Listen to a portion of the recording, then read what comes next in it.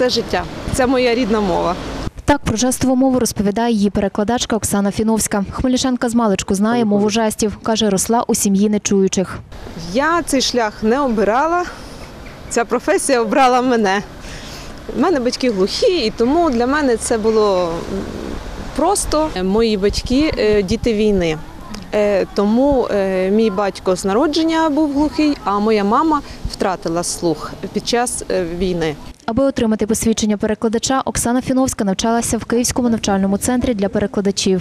Ця освіта мені потрібна була для того, щоб я могла отримати документ, е, і цей документ надавав би мені право перекладати е, глухих людей у закладах, таких як е, суди, поліція, адвокатура, медзаклади. Член Українського товариства глухих Ярослав Кудряшов з родини глухих. Від народження не чує. Чоловік родом із Чернівців проживає у Хмельницькому з 2014 року. Розповідає, після переїзду було важко знайти роботу в обласному центрі. Я проживав в місті Чернівці, я там працював на заводі і на заводі, і думав, що мене дуже легко тут приймуть на заводі. Але то не є так, тому що мені тут е, так само е, за допомогою прикладача прийшлося навчання прийти на заводі, і на заводі я е, вже працюю офіційно. Відтоді два роки Ярослав Кудряшов працює в'язальником схемних жутів, кабелів та шнурів. Зізнається, Хмельницький не пристосований до нечуючих людей. Добитися е, в деяких питаннях важко. Саме краще е, ходити разом з перекладачем. Але в нас є велика проблема. В нас не вистачає перекладачів, які би супроводжували. У нас є онлайн перекладачі, але не завжди це допомагає. Найскладніше Ярославу було під час локдауну. Ні, йде тільки мова тоді про переписування і все.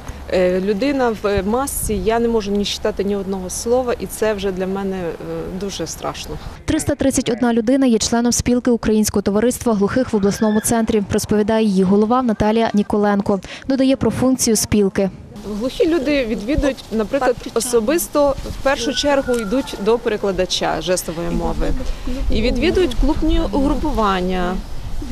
І відвідують дуже люблять політику, політінформацію, коли проводять і різні маленькі заходи. У місті глухим людям проживати легше ніж у селі, зазначає Наталія Ніколенко, оскільки у містах краще інтернет-покриття є перекладачі жестової мови. Щороку відзначають тиждень глухих у вересні місяці, каже Наталія Ніколенко. Сьогодні у міжнародний день жестових мов в УТОГ проводять заходи, метою яких є Привернути увагу спільноти до потреби прав, прав і людей з порушенням слуху. Сьогодні, у нас відбудеться виставка Врожай е, дарунок осені. За словами Наталії Ніколенко, всього на території Хмельниччини є 1258 нечуючих дітей та дорослих. В Хмельницькій територіальній громаді 581 людина. Валерія Ковальчук, Віктор Кривий. Новини на Суспільному. Хмельницький.